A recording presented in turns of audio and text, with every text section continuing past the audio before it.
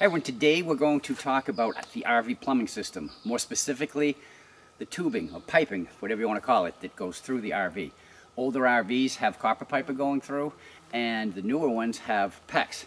And there's a joke going on here between me and Cheryl. I keep calling it Plex. Okay, so so every time he says Plex, take a drink. Yeah, we're gonna make it a, a drinking game video.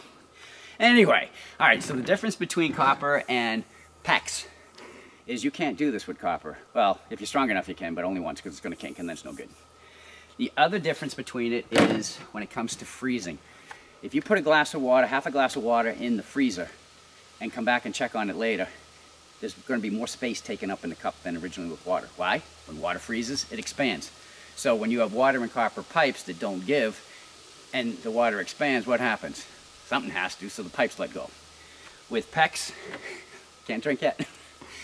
The difference is, number one, this is more flexible, and this is able to actually flex out a little bit too. So the chances of you ever getting a leak in an RV that has PEX tubing will be rare. If you do get a leak in your plumbing system and you have PEX in there, chances are it's whatever is connected to either side because the connectors are the weak point in a PEX system. Uh, what the heck? Plex system. Go ahead, everybody drink. All right. So, uh, the reason we're doing this is Maggie has something I've been wanting to fix. this is what I'm talking about. Now, if you look at where the four low drain points are, can anybody tell which one's not like the other? And I'm not talking to one that's higher than the other either. I mean, they still all work. The problem is you gotta play with this one to get it to turn. And then the same going back. So I want them all going the same way. So what we're gonna do is we're gonna pull this out, we're gonna turn it around, and then they're all gonna be the same. Matter of fact, I'll end up raising this one some too. All right, so what we're gonna do today is we're going to actually cut some of the PEX tubing and we are going to take off the PEX clamps and put PEX clamps back on. So it's gonna give you a general idea wherever your problem is inside your RV, you at least have a general idea how to do it. Again, we're not professionals, so know your limits. Now, when it comes to PEX tubing, the way that they're secured, you have clamps right here. This clamp is not tightened down yet. This one is, well, it's also all screwed up because I just tightened it. But what you'll see, the tool that we're gonna use we'll grab here and it's gonna clamp it like this while it's around here.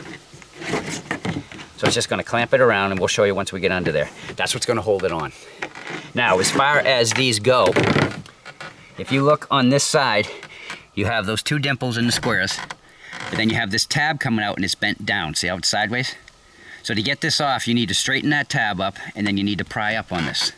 That's one way of doing it. That's not the way I'm going to do it because it's very hot and humid out here. I'm going to be using a Dremel tool right here. Okay, we'll have links in the description box down below to all of this. But what I'm going to do come, when I come in on it, if you want to come back in. When I'm bringing the Dremel down, I'm going to be cutting right through here. You only have to cut through one side. Do not cut the tubing itself. All right, let's go over some of the things that we're going to need today. Right here, these four tools are just in case. okay. Take a quick little peek. Yeah. Okay. Now I already explained how the um, the clamps work, but because it's hot, I'll be using a Dremel tool. It's going to be so much easier to take it off. And when I need to pull the PEX, half a drink. Just take a sip, people. Off of the valve. I'm going to use the heat gun to actually pull it off, just to loosen it up a little bit, so I'm not continually prying on it. Then we move over to this side of the table. These here are everything that you can use to cut the PEX tubing. This is a utility knife. I recommend this only if you have absolutely nothing else. Just take it, come in, dig into it, and then just kind of, oops, cut around, which say it's not really that great. And I don't know if you can see that. It's not really that flat of a, a top. You really want you really want it to be level on the top. So, okay, so that's that one. Then there's this one.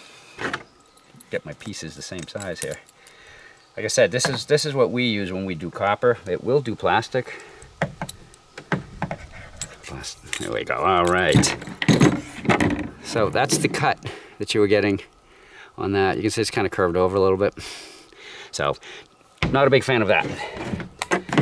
The next one, get these in, get it down a piece. We'll just cut it right through. But problem is, it pinched it.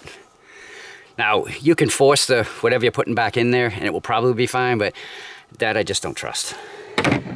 And then last but not least, we'll have just uh, links in the description box down below. This is by a company called Sharkbite. And all you do is you just squeeze it to get it onto it, then just turn it, and boom, you're done. That was the quickest Yeah. by far. Yeah. So I highly recommend one of these, and again, we'll have links to all of this stuff down in the description box below. Now, when it comes to actually clamping them, we already showed you what the clamp looks like, okay? And this is the tool that will end up doing it. Because you grab in here, okay? Now mind you, once you start clamping, because it's ratcheting, the only way you're gonna, it's only, only way it's gonna release is when it's done. So, well, I'll just burn one for you guys. Hear it? Now it just popped and it came out. So that's what happened. If it was in here on a fitting, it will stay round. Okay. All right, so those are all the tools that we are going to be using today. First thing we need to do is we need to get the old one off. And anytime you work on your water lines or whatever, drain them. Otherwise you're gonna pull it apart and you're just gonna be hosed. All right, let's see what we got going on in here. All right, so I'm gonna come in from the side here. Remember, you only have to cut through the first layer. Just be careful.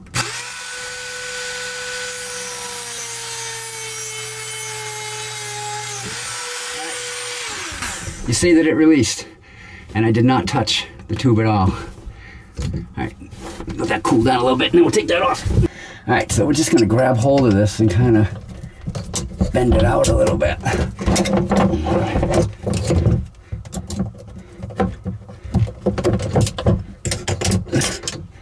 Till we can get it out of there. Because I use a Dremel, it's probably gonna be hot. All right. Okay. Now the next thing that we're gonna do, because once you take the setting, the um, the clamp off, they say to go at least two inches from it before you uh, reattach it. So we're gonna try cutting this off with it still in, because it'd be a lot easier to remove it. And say we are empty, and there's still some water in there. And now because I got the room, I'm gonna pull this up because it would be easier to cut it. I'm gonna come up approximately the two inches that I need, or a little bit more even. And there we go. That's just how easy that works. And there goes the excess water that's still in there. All right, so now we're just gonna pull this off. Let's go to the table. Nice breeze. Yes, yes, yes. yes. nice breeze. Now, if you don't want to use a Dremel, we are going to try and take this one off without using a Dremel. But just remember, when the wind's not blowing, it's very hot here. So what I'm going to do is I'm going to clamp onto the tab. I'm going to tamp on, clamp onto the end, the edge here, and see if I can't straighten that out. I'm not even saying I can do this, so. Can't pry it up. Oh, well, wait a minute. That did something, didn't it? Now, there we go. Now we're getting it. Okay, see how it's coming up? Let's see if we can continue that. Yeah, we got it. We got it. We got it. And just bend it out the way. So which tools worked for you? Oh, uh, yeah. Just came in under here and I clamped where it was. But I mean, I did have that up some. I was able to force this underneath here, which pulled it up, and then the screwdriver forced it up the rest of the way. So those are the two two tools that work the best. Well, for this particular case, yes. And then just unbend it. Ah, that should slide off now. No? There we go. So there you go. Dremel. Well, wire cutters and screwdriver. There you go. There's all sorts of different ways that you can do it. A lot. Of, some people use torches. Some people use the knife here, and they just score a line. I'm going to use a heat gun because there's really nothing in here that's going to get destroyed by heat. So.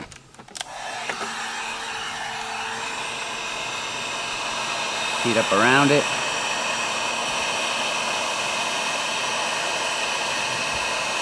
As if we need more heat today. Yeah, no kidding. That's why I'm blowing it away from me. No offense, hon. Let's see how that did. Oops.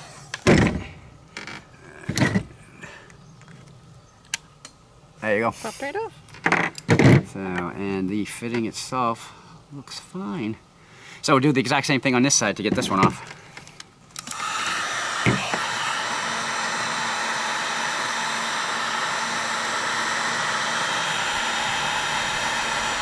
Ooh, feeling that coming up the tube. Holy moly.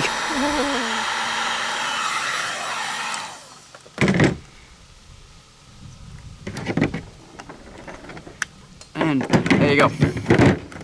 Now we need to cut some new pieces. Yeah, so I, I'm gonna go over and just see how much, because we already know where this is going in there, because I've already cut that, but I'm gonna need a length to come down, because I really don't want it draining in the water compartment. No, that wouldn't be so good. Even though it's called the water compartment, I don't think that's what they meant.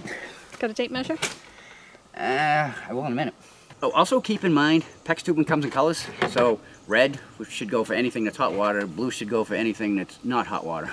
so I don't want to say cold water because on days like today, some It's water in more Maggie's warm. tank is warm. so, but they have other colors too. It's just easier to use the red and the blue because you either have hot water or water that's not hot in your RV. Just make your life easier. All right, so what we're gonna do is we're going to go to five inches. We're using the middle of the table here. And uh, I'll put a mark, anything for a mark here. And then we'll just, uh, we'll add this. Doesn't matter because this is the piece that's gonna hang out the bottom. Okay, so right at about five inches.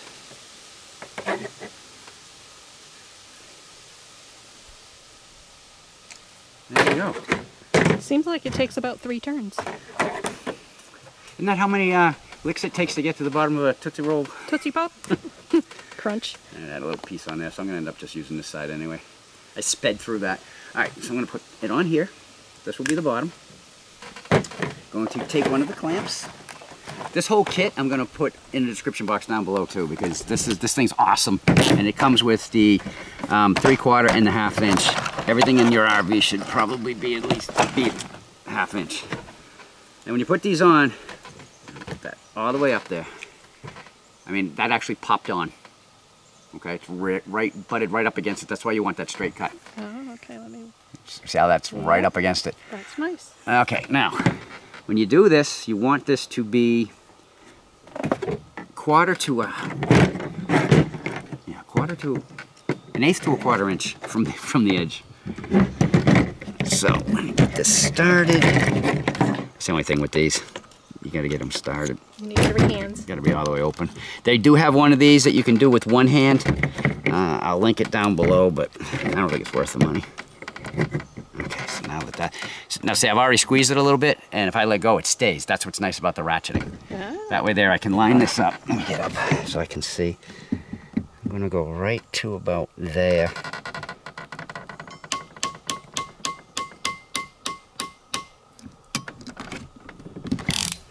All right, there you go.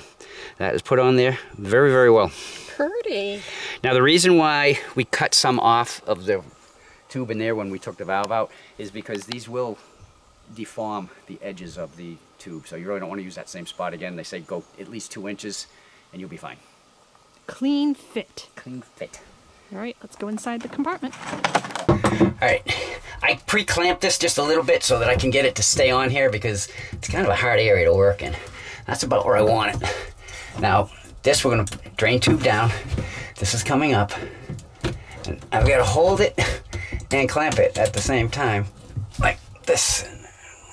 Yeah, I got about a quarter inch there, and that's all the way up. Turn it towards you a little bit. There you go. All right, let's just see what we got here.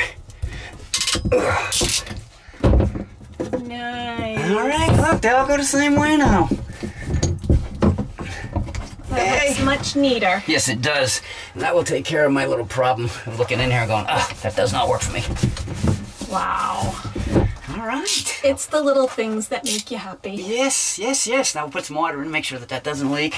And I got, yeah, I got about a quarter inch there too. Good. Excellent.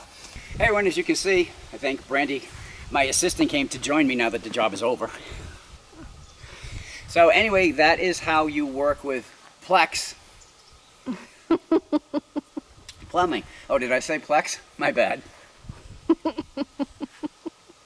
anyway, we hope you guys enjoyed the video. If you did, we'd appreciate that thumbs up as always. If you want to become part of the Grow and Get Gone with Us gang, right down there in the corner, just click it and you're in. And after you do that, don't forget to ring the bell. You'll be notified every time we put a new video out. If you have any questions or comments, you can put them right down below, or you could just say hi. Because we'll say hi back. We always do.